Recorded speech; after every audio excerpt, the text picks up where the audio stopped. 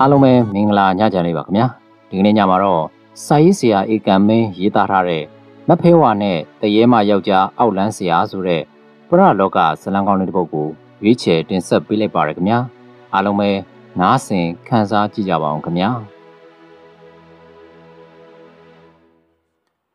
ကြော်တိုက်တယောက်မိုးဖွဲဖွဲလေးရွာနေသဖြင့်ခမောက်ဆောင်ပြီးထမင်းကြိုက်ဆွဲ၍နေ့10နာရီခန့်လဲခွင်းထဲသို့ ထွက်လာခဲ့တယ်။ကျော်တိုက်ရဲ့ဖခင်ဦးဆန်ဝင်းတယောက်မနဲ့စောစောထမင်းချိုက်မယူဘဲထွက်သွားတယ်။ခါတိုင်းရွာနဲ့တိတ်မဝေးတဲ့လယ်မနေ့လယ်စာပြန်စားနေကြဖြစ်တယ်။ဒီနေ့နေ့လယ်စာပြန်မစားလို့ဆိုသဖြင့်ကျော်တိုက်ထမင်းလိုက်ပို့ရခြင်းဖြစ်တယ်။ကျော်တိုက်တို့လည်းကရွာနဲ့အလွန်ဆုံးတမိုင်ခန့်သာဝေးတယ်။ရွာဆက်မဦးကျော်ထွန်းလဲဦးသိမ့်ဖေလဲဦးကျော်ကြီးလဲ ဦးထွန်းတင်တို့လဲခွက်များလွန်လျင်ကြော်တိုက်တို့လဲဖြစ်တယ်အလုတ်ရေးမကြည့်လျင်လဲခွင်းမှထမင်းပြန်စားပြီးတရေတမောအိတ်ကညနေ2နာရီခန့်လဲတဲ့ပြန်ဆင်းလေရှိတယ်မှန်မှန်လျှောက်လျင်မိနစ်20ခန့်ဖြစ်လဲခွင်းထဲရောက်တယ်မိုးကြကာစရေဆက်ဆက်မှာလဲခွင်းထဲတဲထိုးနေတဲ့ဖခင်ဖြစ်သူကိုတွေ့လိုက်ရတယ်နယုံလားစုပ်နောက်ပိုင်းမိုးမှန်လာသဖြင့် လဲခွက်များအပေါ်ရေတင်နေတဲ့အချိန်မှစပြီးလဲစထွန်တယ်မိုးကရွာမြေကပွားသဖြင့်နွားများလည်းမပင်ပန်းလူလည်းမပင်ပန်းပေကျော်တိုက်တို့လဲခုနှစ်ဧကရှိတယ်မိုးကာလထဲထိုးထွန်ဆွဲလူတက်တာလာသဖြင့်နွားနဲ့လူငါးထဲ့ပြီးမလုပ်ရຫນွေကိုင်းဆိုင်ရန်ထဲဝင်တဲ့အခါနွားတရှင်းနဲ့လူတယောက်ငားပြီးအမြန်လုပ်ရတယ်အောက်ဆန်းမပြတ်ခင်အချိန်မီစိုက်ပြိုးနိုင်ရန် လူငါးထဲ့၍လောက်ရတယ်။မိုးရင်းကာလကအလျင်မလို့လူတက်တာတလို့နွားလဲတက်တာလဲ။ဝါဇူလားပြေကြော်တာနဲ့ပြိုးနှုတ်ကောက်ဆိုင်နိုင်ရင်တော်ပြီ။အေးစစ်စစ်ပုံမှန်လောက်သွားရုံနဲ့အချိန်မီပြီးတယ်လို့ဆိုတဲ့။ထဲထိုးထွန်ဆွဲဆက်တုံးခုတ်အဆင့်များကတော့များတယ်။လေကွင်းနဲ့ထွန်ဆွဲ၍ကြံတဲ့မြက်များကိုလိုက်ကောက်ရသေးတယ်။တဆင့်ပြီးတဆင့်လောက်ခဲ့ရာ လေမျက်နှာပြင်ချောမွတ်နေမှတမန်းကောင်းရတယ်ထိုမြေထဲသို့လက်ထိုးထဲပါကမုံနှစ်သားကဲ့သို့မြေကနူးညံ့နေတယ်ထိုတမန်းကောင်းတဲ့မြေမှာစပားပြိုးပင်ကိုစိုက်ပါက မကြခင်တန်မာထွားချိုင်းပြီးအထွက်ကောင်းတဲ့စပားပင်များဖြစ်ထွန်းလာတယ်ဒီနေ့ကြောတိုက်ဖခင်ကမနက်ပိုင်းထဲထိုးပြီးညနေပိုင်းပဇင်းမျက်နှာတက်မယ်လို့ဆိုတယ် ကျော်တိုက်ယာယီထိုးထားတဲ့တစ်ဖက်ရက်တဲလေးအတွင်းသို့ရောက်တော့ဦးဆန်ဝင်းကထဲထိုးကောင်းနေတုံးရှိသေးတယ်မိုးကဖွဲဖွဲလေးရွာနေတယ်တဲထဲမှာထမင်းကြိုက်ကိုပရွက်စိတ်မတက်အောင်အသေးချာထားပြီးမှထဲထိုးနေတဲ့ဖခင်ရှိရာသို့ထွက်လာခဲ့တယ်လာကွာထဲလေးငါးဘက်လောက်ဝင်ထိန်းထားစမ်းပါရေစားလို့အဖေတဲခဏသွားလိုက်အောင်မယ်လောက်ပြီးရေစားရင်လှမ်းអော်လိုက်ရမဟုတ်ဒါစမ်းပါ ငါသားရဲ့လှုပ်အားလေးလေပါသွားအောင်ပေါ့ဘိုးတော်မလုပ်ခင်လေသမားအရင်လှုပ်ကြည့်လိုက်အောင်အဖေနွားတွေကပေကက်ကက်နဲ့မမောင်းချင်ပါဘူးလေလှုပ်လာတာဒီနွားတွေနဲ့မင်းတသက်ရှိပြီကွလေတကွက်ပြီးအောင်ထွန်ဘူးလို့လားတနေ့ပြီးတနေ့ဒီနွားတွေနဲ့လှုပ်ကိုင်းလာတာကဲကြီးများမနေနဲ့လာမောင်းအဖေရေသွားတောက်တဲ့အချိန်နွားတွေခဏအနားပိတ်လိုက်ပေါ့ကျွန်တော်စောက်ကြည့်နေမယ်မင်းကတော့စံပဲကွာ ထဲမထိုးခြင်းလာခဲ့တဲပြန်သွားမယ်ဘာဟင်းချက်ပေးလိုက်တယ်မသိပါဘူးငချောက်နဲ့ရတယ်လို့ပဲကြော်တိုက်တို့သားအဖတဲပြန်ရောက်လာတယ်ဟမ်ငရမ်းချောင်းနဲ့ခရမ်းကျင်သည်မရုပ်သီးစိမ်ပေါင်းချက်ထားတာဖြစ်မယ်ကွမင်းအမေလက်ရအလွတ်တောင်ရနိုင်ပြီရင်းနေကိုတည်ထားလားဟောရောက်ရောက်ချင်းမိဖို့ပေါ်ရင်းနေကိုတည်ပြီးတော့ဓာတ်ဘူးတွေထည့်ထားတယ် မိုးအေးရင်နွေးမှအဆင်ပြေတာတဲရောက်တော့ဦးဆန်ဝင်းကရင်နွေးပကံနဲ့ရင်နွေးထည့်ပြီးမှုတ်တောက်နေတယ်ကျွန်တော်ပြန်တော့မယ်အဖေကကစင်းမျက်နှာတက်ဖို့နေစားမခေါ်ဘူးလားမခေါ်ပါဘူးကွာတနေ့ကိုညနေပိုင်းတအေကတာတာတော့အေးစစ်စစ်ပြီးတယ်လဲထုံလို့ပြီးတဲ့နေ့ကစင်းမျက်နှာတက်လို့ပြီးပြီပေါ့ကစင်းမျက်နှာတက်တာကကစင်း ကစင်းဘေးနှစ်ဖက်မှာပေါက်နေတဲ့မျက်ပင်များကိုပေါက်တူးနဲ့ရှက်ပြီးခုတ်ချတာကိုကစင်းမျက်နှာတက်တယ်လို့ဆိုတဲ့ကျော်တိုက်ကလေထဲအတွင်းမှထွက်ခဲ့တယ်မိုးကရက်မသွားပဲဖွဲဖွဲလေးရွာနေတယ်နေရောင်မမြင်ရညနေပိုင်းမှုမိုးရွာမယ်ထင်တယ်အနောက်ဘက်မှာမိုးရိပ်မိုးသားများအတုံးလိုက်အခဲလိုက်မြင်နေရတယ်ဦးဆောင်ဝင်းကကြော်တိုက်ကြောပြင်ကိုကြည့်ပြီးတော့နှမ်းပြောလိုက်တဲ့ဖြစ် ရှေ့ဆက်မလျှောက်ပဲရက်နေလိုက်တယ်အခုတလောမင်းဆရာဘိုးဆိုင်လဲအခေါ်မလုပ်ဘူးရွာနီးချုပ်ဆက်မှလည်းဘာပြဿနာမှမရှိဘူးဆိုတော့အိမ်မှာနေမဲ့အစားငါနဲ့လာဝိုင်းကူလုပ်ပါလားကွကျွန်တော်ကိုခေါ်ခိုင်းမဲ့အစားစင်းငါတယောက်တော့ခေါ်လိုက်တာမှအဖေနားကြီးတက်တာမှာစင်းငါတယောက်တာခေါ်လိုက်ပါဂျိုတိုက်ကဖခင်စကားတန်ထွက်မလာခင်ထိုနေရာမှအမြန်ထွက်ခဲ့တော့တယ်ကြာရင် အဖေနဲ့စကားပြန်ပြောရင်အချိန်တွေကုန်တော့မယ်ဂျိုတိုက်လည်းမလုပ်ချင်မှန်းသိတဲ့ဖြစ်ဖခင်ကအမြဲလဲနဲ့ချင်းချောက်စကနိုင်လူပြောခြင်းဖြစ်တယ်ကျော်တိုက်ကလည်းလဲမလုတ်ချင်၍လှည့်ပတ်ရှောင်းတယ်အသက်50ကျော်ဖခင်ကလဲလုံနေပြီ20ကျော်သားဖြစ်သူကျော်တိုက်ကလဲမလုတ်ပဲအခန့်သားနေတယ်လို့အများအမြင်မကောင်းမှန်းသိတယ်ကျော်တိုက်ကလည်းအပြက်ပြောထားတယ်လဲကိုအမွေမရခြင်းမှနေ လဲအလုတ်ကိုလုံးဝမလုံနိုင်ပါဟုပြောထားတယ်ဖခင်ဖြစ်သူကအိမ်အောင်မကြခင်မှအိမ်အောင်ကြပြီးယခုအသက်အရွယ်အထိလဲလှုပ်လာသူဖြစ်တယ်လိုအပ်မှစီးရင်ကခေါ်တယ်မလိုအပ်လျင်တူးတဲ့လှုပ်တယ်ကျမကြီးကလည်းကောင်းလာတယ်ကျော်တိုက်လည်းမလှုပ်ချင်မှန်းသိ၍မခံချင်အောင်ပြောပြီးလှုပ်ခိုင်းနေခြင်းပင်ဖြစ်တယ်တကယ်တော့လဲအလုတ်ကိုခိုင်းရန်လဲစိတ်ကူးမရှိကြကျော်တိုက်ကလည်းလဲအလုတ်ကလွဲလျင် ညီသည့်အလုတ်ကိုမစိုးခိုင်းเสียမလို့အောင်စိတ်လိုလက်ရကူညီလောက်ကင်ပေးတယ်ဇနီးဖြစ်သူရဲ့ဖခင်ကြီးကအထက်လန်းပညာလိုက်စားတဲ့ဆရာကြီးဖြစ်တယ်လူအပေါင်းမြောက်များစွာအားတိုင်းရင်စေဝါပညာများဖြစ်လဲကုသပေးခဲ့တယ်။ဆရာကြီးကသူ့ရဲ့မိကိုသူ့ကဲ့သို့ဖြစ်ချင်သောဆန္ဒရှိခဲ့တယ်။ကျော်တိုက်စားတာကိုတွက်ချက်စစ်ဆေးပြီးတနေ့ဆရာကောင်းဖြစ်လာမယ်လို့ဆိုကား လေယာမခိုင်းဖို့အဖေနဲ့အမေကိုပြောခဲ့၍လဲလေလုံရန်အာမပေးခြင်းလည်းဖြစ်နိုင်ပြီတဲ့အဖိုးကသူ့ရဲ့တပည့်ဆရာဘိုးဆိုင်ထံမှာမြေးဖြစ်သူကိုအက်ကပုတ်ပါးကိုထွက်သွားသလိုလိုမဟာမြိုင်တောထဲထွက်သွားသလိုလိုဇင်းကြိုက်ဖက်ထွက်သွားသလိုလိုနဲ့ယနေ့အထိပြန်ရောက်မလာတော့ကျော်တိုက်ကလည်းလူငယ်ပင်မဲ့အဖိုးအမွေဆရာကြီးဘိုးဆိုင်ရဲ့အမွေကို အတော်အသင့်ရနေပြီဖြစ်တယ် ယောဂဝင်ရောက်ပူးကတ်နှောက်ယှက်လင်းသူဖြည့်ရှင်းပေးနိုင်တယ်ရွာသူစုံကဝေအဆင့်အတန်းအသင့်တော်ကြော်တိုက်ညီသူအကူအညီမှမယူပဲနှိမ်နင်းတယ်မောက်လုံးမောက်ပြားဆက်နှစ်ကျိုးကဝေနဲ့သူ့ထက်အဆင့်မြင့်တဲ့ကဝေကြီးများကြော်ကြီးများကိုဆရာဘိုးဆိုင်နှိမ်နင်းရာ နောက်မှနေ၍အကူအညီပေးရင်ဆရာပညာကိုလေ့လာခဲ့တယ် အင်အိုင်လက်ဖွဲ့အစဉ်စဉ်အသုံးပြုပုံကို လေ့လာမှတ်သားခဲ့တယ်အင်းနိုဂါရာများစွာမန္တရာများစွာတို့ကိုလည်းတင်ကြားကြက်မှတ်ခဲ့ရတယ်ထို့ပြင်မဖဲဝါအကူအညီနှင့်လဲအမောက်ပယောဂများကိုကူညီဖြည့်ရှင်းပေးနိုင်ခဲ့တယ်ကျော်တိုက်လေကွင်းမှရွာသို့ပြန်ရောက်လာတယ်အိမ်ထဲရောက်တော့အမေကစီးကြိုပြောတယ်စောစောကမင်းရဲ့တငယ်ချင်းပေါက်စာနှကောင်ရောက်လာသေးတယ် ဘယ်ကတငယ်ချင်းတွေလဲအခုဗမာလဲခဏနေပြန်လာခဲ့မယ်တဲ့တာတီးတော့အမေသိတယ်နောက်တစ်ကောင်ကတော့လူသိပြီးတော့နာမည်မသိဘူးအသားမဲမဲနဲ့မျက်လုံးပြူးပြူးကောင်လေးဟောခွေးပူနဲ့တာတီးပဲဖြစ်မယ်အေးခွေးပူလားဂုတ်ပူလားတော့မသိဘူးအဲ့ဒီကောင်လေးကိုမမြင်တာကြာပြီကြော်တိုက်လဲအင်ကြီးချွတ်လိုက်ပြီးရေချိုးရန်ထွက်ခဲ့တယ်မိုးလေးကတဖွဲဖွဲရွာနေသေးတယ် ရေတွင်းမှာရေအဝခတ်ချိုးပြီးအိမ်တို့ပြန်လာခဲ့တယ်အမေရေလဲပစိုးကမ်းပေးပါအောင်ဟဲ့ဗမာလဲကျွန်တော်အခန်းချင်ရကျိုးရမ်းမှာအနက်ရောင်အကွက်လေးယူပေးပါခဏနေမိခင်ဖြစ်သူဒေါ်တန်းရှင်ပစိုးရည်လဲရန်ယူလာပေးတယ်အမေကြော့နော်မိခင်ဖြစ်သူကအပေါ်ဆင့်ပြန်တက်ပြီးအိမ်ထဲဝင်သွားတယ်တို့အချိန်မိုးကတိတ်သွားပြီး နေရောင်လေးပါပြူလာတယ်အချိန်က12နာရီခန့်ရှိပြီဖြစ်တယ်ကိုကျော်တိုက်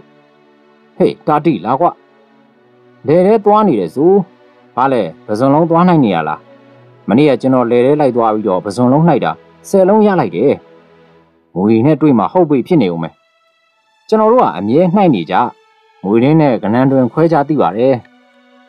စောစောကမင်းနဲ့ဘသူပါသေးလဲကွာ တက်ပူပါလာတာအခုသူ့အမေအော်လို့နေခဲ့တယ်မင်းကိုဆရာကြီးခေါ်ခိုင်းလိုက်တာလားမဟုတ်ဘူးဗျအဖေခေါ်ခိုင်းတာအဖေကကိုကျော်တိုက်စီလာမလို့အိမ်ပေါ်ကအစင်းဖနှက်ချော့ကပြင်းကျိုးပြီးတော့ခြေကျွံကြလို့အသားဆုပ်သွားတာနဲ့မလာဖြစ်တော့တာပဲကျွန်တော်ကိုလွတ်လိုက်တာဟာကိစ္စအရေးကြီးလို့လားကွသိဘူးဗျကျွန်တော်နဲ့တခါတည်းလိုက်ခဲ့ပါလို့မှားလိုက်တယ်အိမ်မှာအဖေညီဦးလေးတင်လှနဲ့လူတစ်ယောက်တော့ရှိတယ် အခုမလိုက်သေးဘူးကွာနိုင်ဝက်လောက်ကြာမှလာခဲ့မယ်ငါလေခွင်းထဲကအခုမှပြန်ရောက်တယ်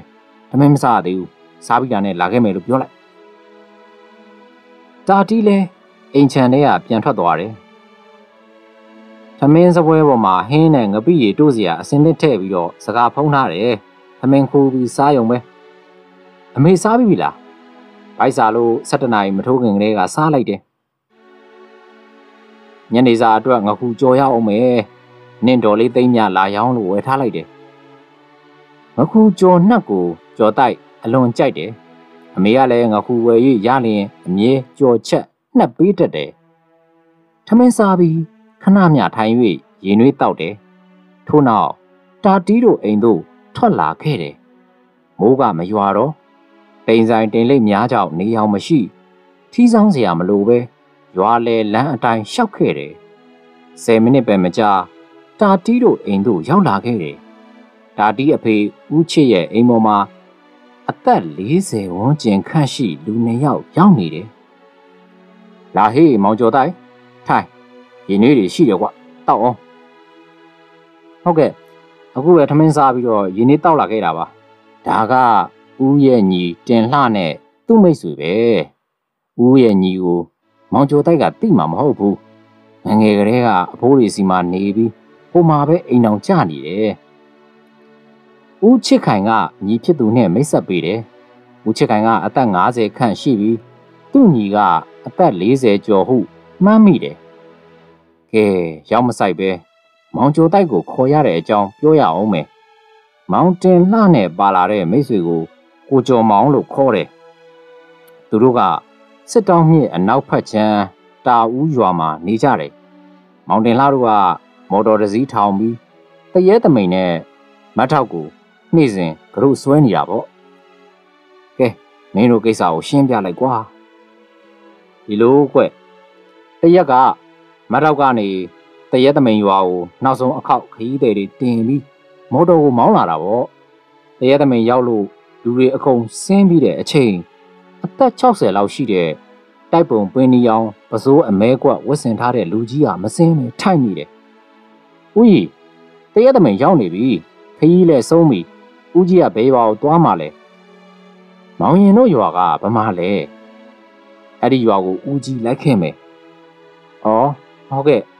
လိုက်လို့ရပါတယ်။ဦးကြီးကဘိန်းတော်ဆရာလဲလှုပ်တယ်။ဦးကြီးရဲ့လမ်းစဉ်ကခုနှစ်ရက်သားသမီးကယ်တဲ့လမ်းစဉ်ပဲငါတူတို့ရွာမှာနာမကျန်းဖြစ်နေတဲ့လူတွေစုံတိုက်နှက်တိုက် ပယောကအတိုက်အခိုက်ခံနေရတဲ့လူတွေရှိရင်ပိန်းကြာဖက်မှာရေမတင်သလိုရှင်းရှင်းပြောက်အောင်ကုပေးနိုင်ပါတယ်ဟာကျွန်တော်တို့ရွာတွေဘက်မှာအခုလိုနေပူလိုက်မိုးရွာလိုက်ဖြစ်တဲ့အချိန်နာမကျန်းတဲ့လူပေါ်မှာပေါ်ပဲရွာမှာဆရာဝန်လည်းမရှိစေကန်းလည်းရှိတာမဟုတ်ဘူးဗျဆရာကြီးလိုက်ချင်တဲ့ပါဆိုရင်လိုက်ခဲ့လေအခုပဲကျွန်တော်တို့မော်တော်ပြန်သိမ်းပြီးတော့ရွာပြန်တော့မှာတို့ဖြစ် ကိုတင်လာနဲ့ကိုကျော်မောင်တို့လည်းစေးဆရာကြီးအားရွာသို့ခေါ်လာခဲ့ကြတယ်တာဦးရွာရောက်တော့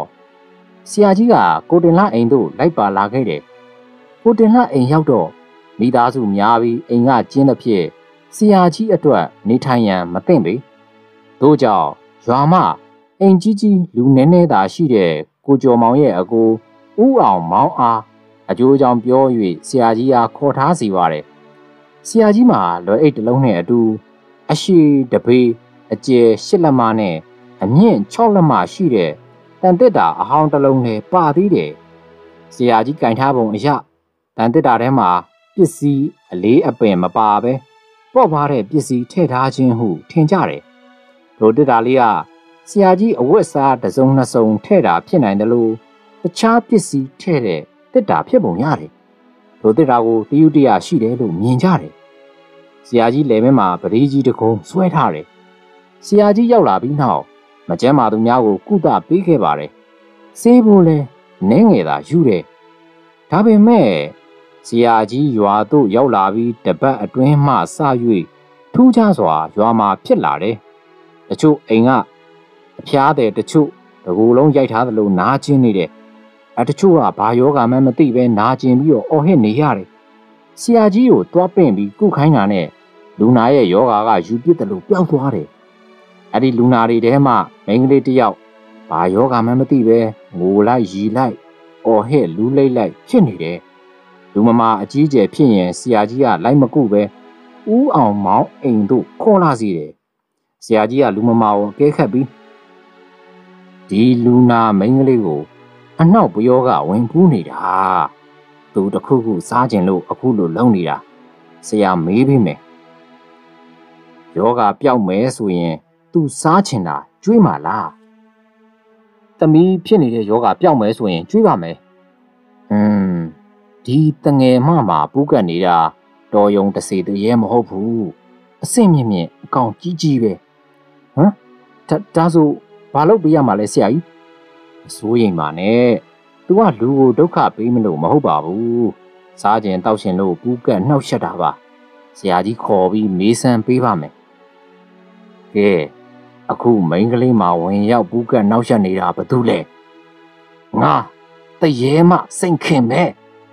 ဘာလို့အခုလိုပူးကတ်နေတာလဲရှင်းရှင်းပြောပါငါစားကျင်တောက်ချင်လို့ရွာအဝင်ကနေလိုက်လာတာကဲကဲ ဒီကလူနာရှင်တွေကိုစိတ်ပူအောင်လုပ်မနေနဲ့အခုဘာစားကျင်လို့လိုက်လာတာလဲငါအမဲသားစားကျင်တယ်အမဲသားချက်ကျွေးရမယ်အမဲသားကဒီအချိန်ဘယ်ရရမှာလဲမနှက်ပြန်မှရမယ်မတော်မျိုးကပြန်မှရမှာမနှက်ပြန်ညက်နေကျွေးမယ်ဖြစ်လားဂျင်းနဲ့တယ်ငါအတွက်အမဲသားတပိတ်သားချက်သမင်းပကံနဲ့ကျွေးရမယ်အပြင်မှာလာမကျွေးဘူးအပြင်မှာလာမကျွေးဘူး ဒီအိမ်မှာကျွေးရင်ဖြစ်လားအေးဗမာဖြစ်ဖြစ်ငါစားရဖို့အတိကပဲဒါဆိုဒီတငယ်မလေးမှာပူးကတ်နေရကကို့နေရကိုပြန်ပါမနှက်ပြန်ညစားရမယ်လို့ဆရာဂရိပေးတယ်အသင့်ဖြစ်ရင်အကြောင်းကြားလိုက်ပါမယ်ငါကိုညာမယ်မစင်းစားနဲ့ညာရင်ဒီသမိသားစုလုံးတက်ဖြစ်မယ်ကဲဆရာတောင်းဝန်ယူပါတယ်လာရလန်းသာပြန်มาတော့ မိန်းကလေးသည်တုံတုံရီရီဖြစ်ရမှလဲကြပြီးတတိမိတယ်လို့ဖြစ်သွားတယ်။ဇရာကြီးကတောက်ရီတစ်ခွက်တောင်းကမန်းမှုတ်၍မျက်နာကိုတောက်လိုက်မှမိန်းကလေးတတိပြန်ရလာတယ်။ကဲကြားကြတယ်မဟုတ်လား။မနှက်ပြန်မတ်တော့ကိုသွားတဲ့လူရှိရင်အမဲသားတပိတ်တာမှားပြီးချက်ညနေ9နာရီနောက်ပိုင်းဒီအိမ်ယူလာ ဆရာကြီးတရေမောက်ကိုပြောဆိုကြိတောင်းပြီးကျွေးပြီးမယ်တို့ဖြစ်အမဲသားဟင်းနဲ့ဓမင်းကိုညနေ9နာရီခန့်လာဖို့ရာဆရာကြီးကအားလုံးကိုအိမ်အောက်ဆင်းစေပြီးအပေါ်ရက်မှာတူးတဲ့နေကထမင်းနဲ့ဟင်းပကံတို့ကိုတန်တက်တာပေါ်တင်ပြီးထားလိုက်တယ်ကဲကဲအင်ရှင်တွေရော အပြင်လူတွေပါဆရာကြီးစောစောကပြောသလိုဒီအပေါ်ထက်ကဆင်းပေးကြပါဆရာကြီးခေါ်ကြွေးလို့မဝရင် ရှိတဲ့လူတွေပူးကတ်တောင်းချမ်းမှာစိုးရင်ရတယ်။တရဲနဲ့၆လန့်လိုက်တော့ဆရာကြီးမှလွဲ၍အားလုံးဆင်းသွားကြတယ်။ဆရာကြီးကတန်တက်တာပေါ်တင်ထားတဲ့ဟင်းပကံနဲ့ထမင်းပကံကိုတန်တက်တာရှိချကတန်တက်တာအဖုံးကိုဖွင့်ထားတယ်။သူ့ပါဇက်မှာတိုးတိုးရွတ်နေတာလားစကားပြောနေတာလားမသိပါဇက်ကလှုပ်ရှားနေတယ်။တဖြည်းဖြည်းအမဲသားတုံးနဲ့ထမင်းများကုံသွားတော့တယ်။ တန်တက်တာကိုပိတ်ပြီးပကံနှစ်ချက်ကိုပြန်တင်လိုက်တယ်။ခဏနေတော့အောက်မှလူများကိုတက်ခိုင်းလိုက်တယ်။ကဲအားလုံးစိတ်ချလက်ချနေကြတော့စားပြီးလို့ကြည်နက်သွားပြီ။ထိုကိစ္စကြောင့်ဆရာကြီးရဲ့တရင်ရွာထဲမှာနာမည်ကြီးရတယ်။ဆရာကြီးရောက်မှတိုက်ဆိုင်တာလားမသိ။ရွာမှာယောဂါထူလာတဲ့အတွက်လူနာများကိုလက်မလဲအောင်ကုသနေရတယ်။ဦးတင်ထူးသမီး တရေကပ်၍အမဲသားကျွေးပြီး၃ရက်မြောက်နေ့မှာရွာအရှိပိုင်းမှဒေါ်တင်လုံးရဲ့ယောက်ျားဦးချီနီတယောက်သေကောင်ပေါင်းလဲရုတ်တရက်ယောဂထဖြစ်တယ်။တို့ကြောင့်ရွာမှာအသင့်ရောက်နေတဲ့ဆရာကြီးကိုတွားပင့်ကြတယ်။ဆရာကြီးကဒေါ်လုံးတင်အိမ်သို့လိုက်သွားပြီးလူမမာအခြေအနေကိုကြည့်တယ်။မလုံးတင်ယောက်ျားနရိုင်းသွင်းချိန်မှာအမားလုတ်ခဲ့လို့တရေဘူးကလိုက်လာတာ။ ဆရာကြီးကထုံးစံအတိုင်းဒေါ်လုံးတင်အိမ်မှာပင်တရေကိုခေါ်ပြီးမေးတယ်။တရေကစားကျင်တောက်ချင်လို့ဘူးကလိုက်ပါလာတာလို့ဆိုတယ်။ထုံးစံအတိုင်းမဲသားတပိတ်သားချက်နဲ့ထမင်းကျွေးရန်တောင်းဆိုတယ်။ဒေါ်လုံးတင်ကလည်းခင်မွန်းတဲ့ယောဂပြောက်မယ်ဆိုရင်ကျွေးမယ်လို့ဂရိပေးလိုက်တဲ့အတွက်ထွက်သွားတော့တယ်။နောက်နေ့ဆရာကြီးအိမ်ယူသွားပြီးကျွေးကြတယ်။ဆရာကြီးကအားလုံးကိုအိမ်အောက်ဆင်းစေပြီးမှကျွေးတယ်။ထိုညနေပိုင်းမှာပင် ဒေါ်လုံးတင်ယောက်ျားနီးပြန်ကောင်းသွားပြီလို့သတင်းကြားကြရတယ်။တရက်ပြီးတရက်ယောဂကူးပြောင်းလာနေ၍ရွာသားတို့လည်းစိတ်ညစ်နေကြတယ်။အင်ဂျီ150ခန့်သာရှိတယ်။ဒီရွာကလေးမှာလူတိုင်းဒီပါယောဂတစ်မျိုးမဟုတ်တစ်မျိုးဖြစ်ကြ၍ဆရာကြီးနဲ့မကုဘူးသူမရှိသလောက်ဖြစ်လာတယ်။ဆရာကြီးက စေးဖို့ပေးသရွေ့သာယူတဲ့အတွက်ကြောင့်သာခံတာနေခြင်းဖြစ်တယ်။ယောဂကုရတဲ့အထဲရွာထိတ်ကတရေကလည်းရွာကလူတွေကိုပူးကတ်ခြောက်လှန့်ရန်ချောင်းမြောင်းနေပုံရတယ်။မကြခဏရွာပြင်မှလိုက်ပါပူးကတ်ရင်းထမင်းဟင်းတောင်းစားနေတယ်။ဒီနေ့ညနေပိုင်းကိုကျော်မောင်ရဲ့သားနေမကောင်းရုတ်တရက်ဖြစ်၍ဆရာကြီးကိုပြင့်ရန်အကိုအိမ်တို့လာခဲ့တယ်။အကူတို့လင်မယားအိမ်မှာမရှိတဲ့အတွက် ဆရာကြီးရှိတဲ့အပေါ်ထက်သို့တက်သွားတယ်။ဒီအချိန်မှာပဲဆရာကြီးကတန်တက်တာအနီးမှာထိုင်ပြီးစကားအခြေအတင်ပြောတံကိုကြားလိုက်ရတယ်။မတ်စင်ခင်ရဲ့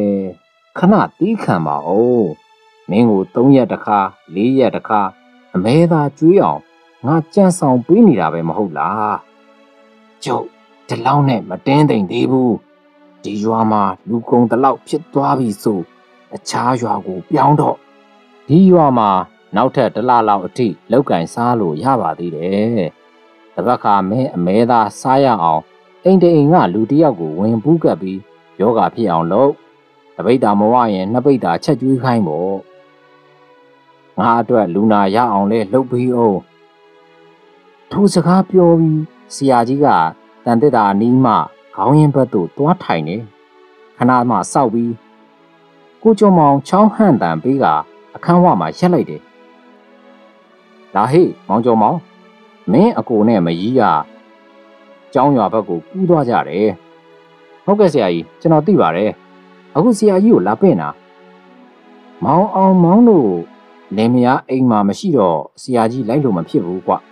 ဒီကိုခေါ်လို့ရရင်ခေါ်လာခဲ့ပါလားဟုတ်ဒါဆိုကျွန်တော်ပြန်လိုက်အောင်မယ်လူနာကိုဒီခေါ်လာခဲ့ပါမယ် လူနာကဘာယောဂဖြစ်တာလဲ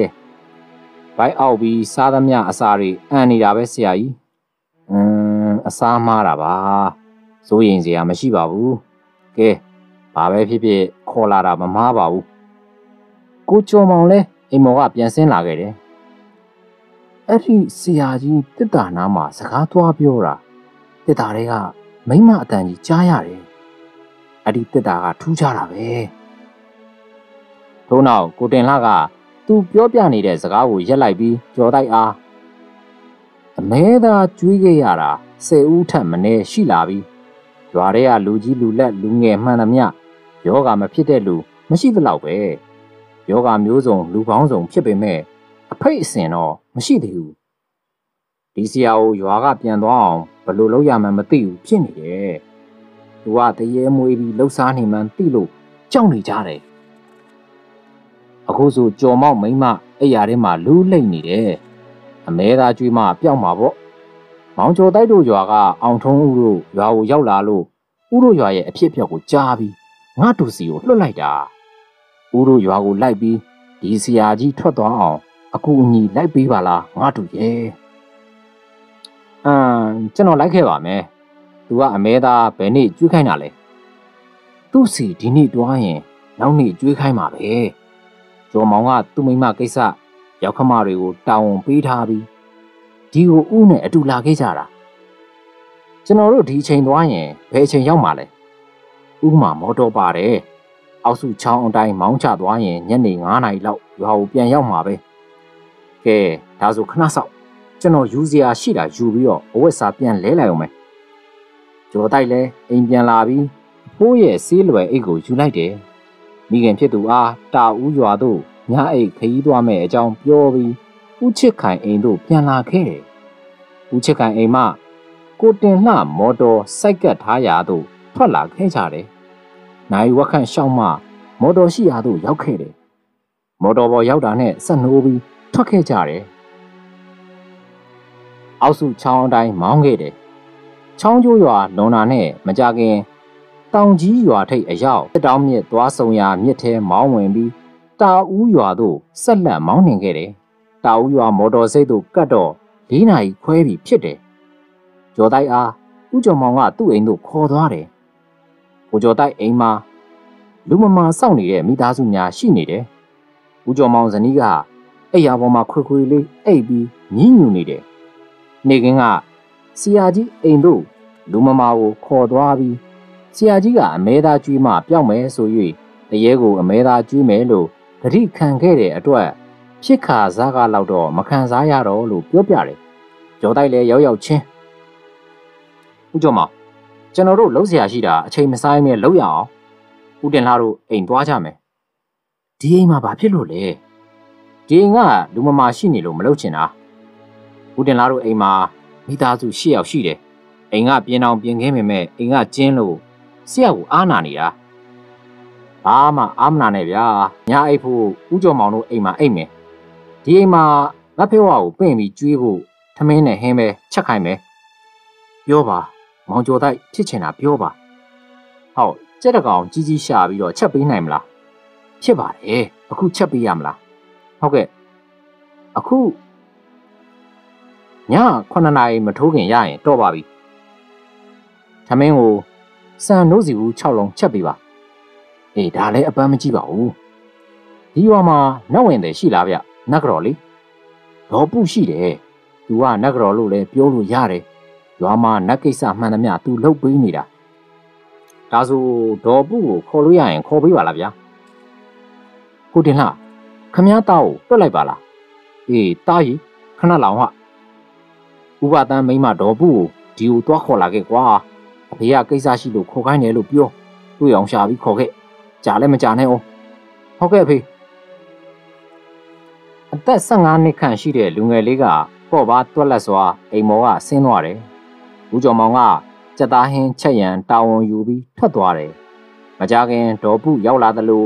ဦးကျော်မောင်ကလည်းလူငယ်တယောက်နဲ့ပြန်ရောက်လာပြီးစက်သားဟင်းချက်ရန်ပြင်ဆင်နေကြတယ်ကျော်တိုက်ကဒေါ်ဘူးအားခေါ်ရခြင်းအကြောင်းကိုရှင်းပြတယ် အခုအတော်တို့ရွာမှာအထက်လန်းဆရာလို့ပြောပြီးတော့သူမွေးထားတဲ့တရေနဲ့လူတွေကိုနေမကောင်းအောင်လုပ်စိတ်ကူစားနေတဲ့ဆရာရောက်နေတယ်မို့လားအေးအတော်တော်တခါအိမ်ပင့်ပြီးတော့စိတ်ကူလိုက်ရသေးတယ်ပြီးတော့သူမွေးထားတဲ့တရေစားဖို့လူတွေကိုပူးကတ်၆လန့်နေတာလည်းရှိသေးတယ်အခုကိုကျော်မောင်ရဲ့မိန်းမကိုပူးကတ်၆လန့်လို့အမဲသားကျွေးပါမယ်လို့ဝန်ခံထားပြီးပြီတရေကိုအမဲသားမကျွေးရအောင်လုပ်ရမယ် ဒီတော့ငါတူက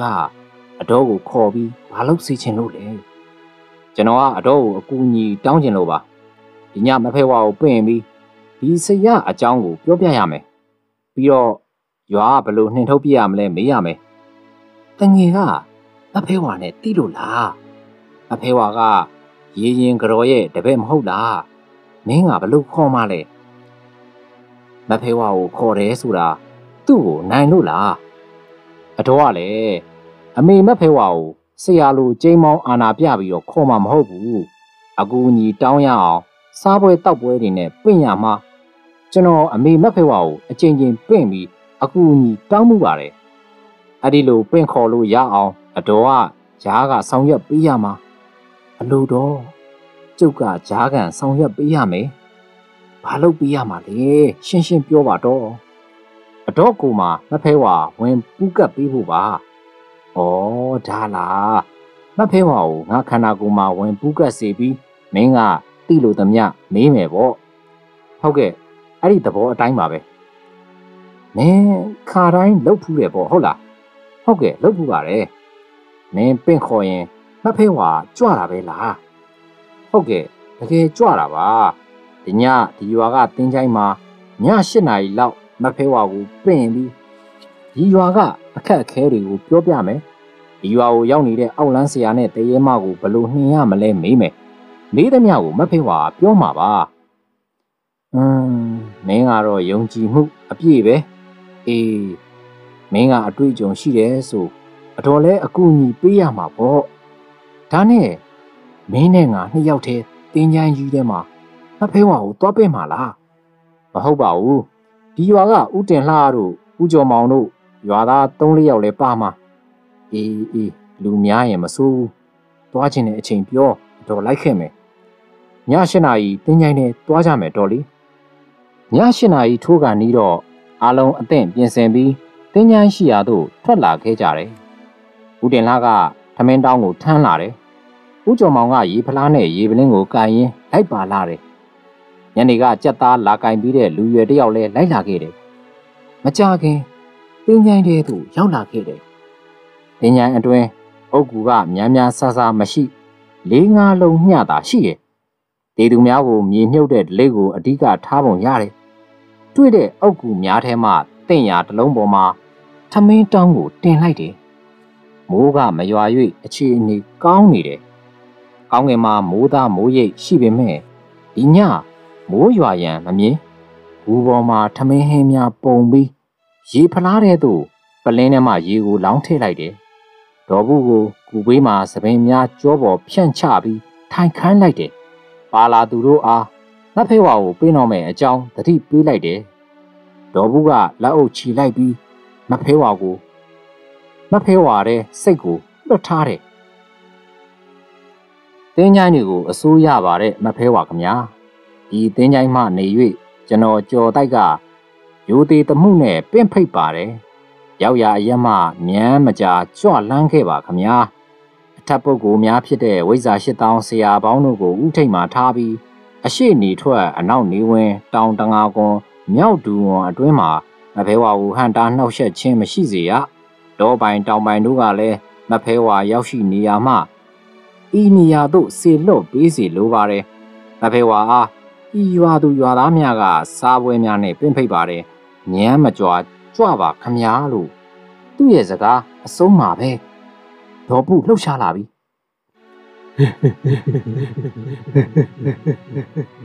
လက်များကွေးကောက်သွားကဘူပေါ်မှခုံတက်လျက်ထမင်းပုံကိုခွာထိုင်ပြီးအားရပါးရစားတော့တယ်ကြက်ရိုးကြိုက်ဝါသမ်းမင်းတချွတ်ချွတ်ကြားနေရတယ်အသက်55နှစ်ခန့်ရှိဒေါ်ပု ထိုကဲ့သို့ဝါနိုင်ရန်မရှိဦးတင်လာတို့အုပ်စုမဖဲဝါဝင်နေတာကိုယုံကြည်သွားကြတယ်မကြခင်မှာပင်ချက်သားဟင်းနဲ့ထမင်းများကုံလူနီးပါဖြစ်သွားတယ်အမေမဖဲဝါကိုအကူညီလိုလို့အခုလိုပင့်ဖိတ်လိုက်ရတာပါကဲပြောစမ်းဘာကိစ္စလဲဒီရွာကိုလွန်ခဲ့တဲ့လကအောက်လန်းဆရာတယောက်ရောက်လာပါတယ် သူမှမွေးထားတဲ့တရေမအကူအညီနဲ့ရွာသားတွေကိုစေးကူရအောင်လုပ်ပါတယ်သူမွေးထားတဲ့တရေစားတော့ဖို့တရေပူးကပ်ပြီးအမဲသားဝယ်ချက်ကျွေးခိုင်းပါတယ်ဝယ်ကျွေးလိုက်မှပူးကပ်ရာကခွာသွားပါတယ်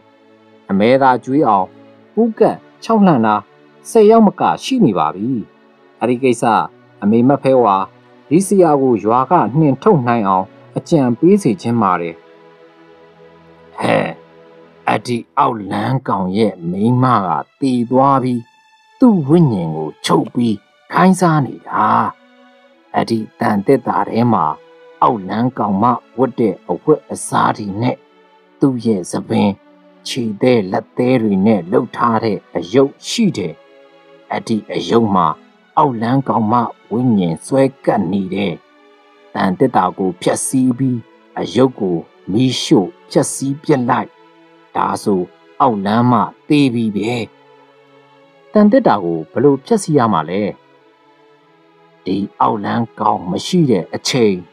တန်တက်တာကိုအိမ်ပြင်ယူထုတ်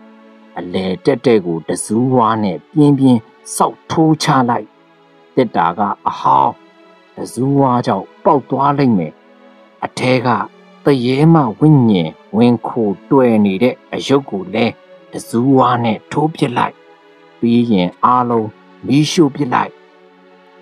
အောက်လန်းကောင်ကဒီလောက်စွမ်းတာမဟုတ်ဘူးသူ့မိန်းမအောက်လန်းတရေမကစွမ်းတာသူ့မိန်းမမရှိတော့ရင်ဒီအောက်လန်းခြေလက်ရိုက်ချိုးတယ်လို့ဖြစ်သွားပြီဒီကောင်ရွာကထွက်ပြေးလိမ့်မယ်မင်းတို့မစိုးရိမ်နဲ့ဒီကောင်ရွာစည်းဝိုင်းတဲကထွက်တာနဲ့ငါသူ့ဝိညာဉ်ကိုနှုတ်ယူသွားမယ် ကဲလှုပ်เสียရှိတာလှုပ်ကြငါသွားမယ်မဖေးဝါကရေဖလားထဲမှရေကုံအောင်မော့တောက်ပြီးဒေါ်ပုခန္ဓာကိုယ်မှထွက်ခွာသွားတယ်ဒေါ်ပုကူပေါ်မှာခွေခွေလေးလဲကျသွားတယ်ကျော်တိုက်လဲဒေါ်ပုကိုတရိရအောင်လှုပ်ပေးပြီးကူပေါ်မှအောက်ချပေးလိုက်တယ်ဟဲ့ခေါင်လေးမဖေးဝါဝင်သွားလားဝင်သွားတာဗော ကျွန်တော်တို့သိကျင်တာလဲပြောပြသွားတယ်ဒေါ်ပုစောစောကပုံထားတဲ့စက်သားဟင်းနဲ့ထမင်းတွေကိုတောင်းတဝက်နီးပါပဲဘယ်သူစားတယ်ထင်လဲမဖေဝါစားတော့တာမဟုတ်လားဘယ်ကဒေါ်ပုထမင်းပုံခွထိုင်ပြီးတော့စားသွားလားဟဲမဟုတ်တာမပြောစမ်းပါနဲ့ဒီမှာငါးပိုက်ဒီလောက်ထမင်းနဲ့ဟင်းကုံအောင်စားရရင်ထနိုင်မှာမဟုတ်ဘူးတကယ်စားတာမဖေဝါဝင်ပူးကပ်ပြီးတော့စားသွားတာ အယိုးတောင်တစ်ချောင်းထွေးမထုတ်ဘူးဒေါ်ပုဘာမှပြန်မပြောသူ့ကိုယ်သူကြည့်ပြီးအံ့ဩနေပုံရတယ်သူတို့လူစုရွာတယ်ရောက်လာတယ်အခုအဲ့ဒီဆရာမွေးထားတဲ့တရေမောက်ကိုတွားဖြတ်စီးရမယ်ဦးကျော်မောင်မဖေဝါပြောသလိုတစူးဝါရနိုင်မလားရမယ်မောင်ကျော်တိုက်ကိုသိန်းရဲ့အဖေဆုံးတော့မိတကြိုတယ်ကိုသိန်းက တစူးဝါလူရမယ်ရဆောင်းထားမယ်ဆိုပြီးတော့ယူသွားတာတွေ့တယ်ကွာအခုရှိမရှိမေးပြီးတော့ရှိရင်ယူလာခဲ့မယ်သူတို့အားလုံးဦးတင်လာတို့အိမ်တို့ပြန်ရောက်လာကြတယ်ကဲကိုတင်လာလာဗျာခမည်းနဲ့ကြုတ်ကိုသိန်းအိမ်ကိုတွားရအောင်ဆရာလေးနဲ့ဒေါ်ပူတို့စကားပြောနေခဲ့ကြအောင်ဦးကျော်မောင်နဲ့ဦးတင်လာတို့ဓမီတလက်နဲ့ကိုသိန်းအိမ်တို့ထွက်သွားကြတယ်မကြခင် ကိုတင်လာတို့ပြန်လာတယ်သူတို့နဲ့အတူလူတစ်ယောက်လည်းပါလာတယ်ထိုလူလက်ထဲမှာလူတရက်ခန့်ရှိဝလုံးကိုင်းလာတယ်ထိုလူကအသက်30ခန့်သာရှိအောင်မဲ့ကိုသိန်းဟုသိလိုက်ရတယ်ဆရာလေးဇူဝရလာခဲ့ပြီကျွန်တော်တို့ဆရာကြီးရဲ့အလက်မှာတက်တာကိုအိမ်ပြင်ယူထုတ်ဖို့အရေးကြီးတယ်အောက်လန်းဆရာကြီးအိတ်သွားအောင်စောက်ရမယ်ဒီလိုလုပ်ပါလား ကျွန်တော်အိမ်မှာအိတ်ဆေးသုံးလုံးရှိတယ်အဖေကိုစေးရုံကပြန်ခေါ်တော့အနာကိုက်ရင်လူနာမခံစားရပဲအိပ်ပျော်သွားအောင်တိုက်ဖို့ဆေးတွေနဲ့အတူအိတ်စီသုံးလုံးမှပေးလိုက်တာအဖေစေးရုံကပြန်လာတဲ့ညမှာပဲဆုံးသွားလို့ဆေးတစ်လုံးမှမတောက်လိုက်ရဘူးဆေးတွေလွန့်ပြစ်မယ်ဆိုပြီးထုတ်ထားတာအခုလွန့်မပြစ်ရသေးဘူးအိတ်စီသုံးလုံးကျွန်တော်တွားယူပေးမယ်ဒါဆိုကိုသိန်းဆေးတွားယူလိုက်အောင်လန်းဆရာကြီးရေနွေးနဲ့တောက်ဖို့စားစရာကိုကြုံမောင်တွားဖို့ မနှက်ပြန်ကျွန်တော်မိမကိုစေကုပေးမယ်ဆိုလို့ဆရာကြီးရေနွေးနဲ့တောက်ဖို့မဟုတ်လာပို့တာလို့ပြောဒီအချိန်မဟုတ်ဘယ်ရရမလဲဒေါ်ပုကဝင်ပြောတယ်ဟဲ့ဟဲ့ကျင်မြတို့မနဲ့ရောင်းတဲ့မုတ်ချိုသွင်းဒီညဆိုထက်မြက်ကြိုပြီးတော့စိန်နေလောက်ပြီအဲ့ဒါဝယ်ပြီးတော့သွားပေးလိုက်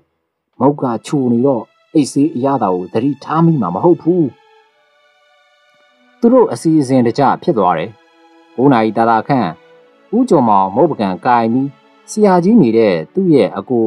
ဦးအောင်မောင်အိမ်တို့ရောက်သွားတယ်ဆရာကြီးရေနွေးနဲ့မြည်ရအောင်မုတ်ချိုသွင်းလာပေးရင်းနဲ့အခုကျွန်တော်မိမလည်းကျမ်းမာလာတဲ့အကြောင်းလာပြောတာပါအေးသူစားချင်တာကျွေးမယ်ဆိုတော့လေကြည်နဲ့သွားမှာပေါ့ဆရာကြီးအတွက်မုတ်တစ်ခုပဲထားခဲ့ကျန်တာမောင်အောင်မောင်တို့စားဖို့သွားပေးလိုက်ပါဆရာကြီးစားပါ မကုံရင်မနဲ့စောစောရင်းနှင်းနဲ့မြည်လို့ရတာပေါ့ဒီမုတ်မျိုးက၄၅ရက်ထားပြီးစားလို့ရတယ်อืมအလူဒါနမြောက်အောင်ဆရာကြီးစားပါမယ်အောက်လန်းဆရာလဲရင်းနှင်းငှဲ့ရင်မုတ်ကိုချိုးဖဲ့ပြီးအာရပါရစားနေတယ်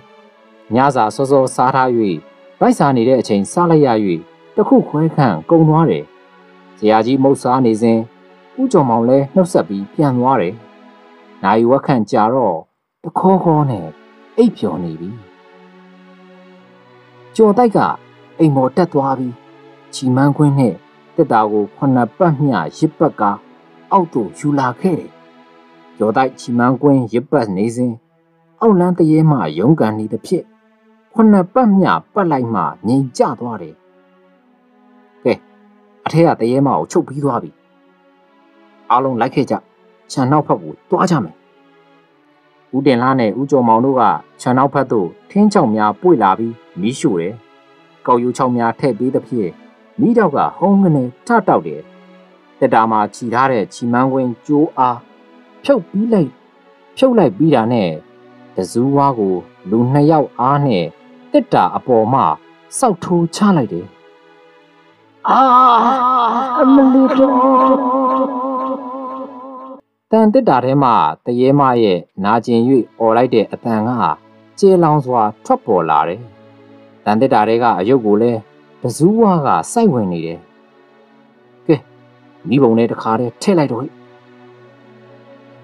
တန်တစ်တာရောအထဲကအယုတ်ပါမီးလောင်သွားတယ်။တစူးဝါနဲ့တန်တစ်တာကိုဆွဲဖွင့်လိုက်ရာအထဲကပစ္စည်းအားလုံးပြာကျနေပြီဖြစ်တယ်။သူတို့တစ်တာကိုမိဘုံပေါ်မှာထားခဲ့ပြီး အိမ်ရှိသို့ထွက်လာစဉ်အိမ်ပေါ်မှအောက်လန်းဆရာကြီးဆင်းလာတယ်။နဲ့မင်းတို့ငါတက်တာကိုဖျက်ဆီးလိုက်ပြီ။ငါငါမိမကိုလည်းတတ်လိုက်ကြပြီ။အောက်လန်းဆရာကြီးလည်းလွယ်အိတ်ကိုလွယ်လိုက်ပြီးတကြီးတရိုင်နဲ့ခြံထဲကထွက်သွားတယ်။သူ့ထက်တရေမကပိုဆွမ်းသဖြင့်သူ့မိမတရေမကိုတက်ပစ်တဲ့ရွာမှာမနေဝန်းတော်၍ရွာပြင်သို့ပြေးထွက်လာခြင်းဖြစ်တယ်။ ထိုအချိန်ရွာပြင်မှာအရက်ဆယ်ပေခန့်ရှိတဲ့တရေမကြီးရက်နေတာကိုတွေ့လိုက်ရတယ်။ဟမ်တရေတရေဟဲ့အောက်လန်းကောင်နင့်မယားတရေမနဲ့ပေါင်းပြီးရွာသားတွေကိုနှိပ်စက်နေတဲ့အတွက်နင့်ကိုအရှင်မထားဘူး။ကြောက်ပါပြီ။အာအာအာငါဖေဝါက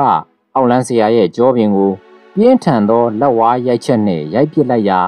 တစ်ချက်သေးနဲ့သွေးပွက်ပွက်အံပြီးတည်သွားတော့တယ်။မနက်လင်းတော့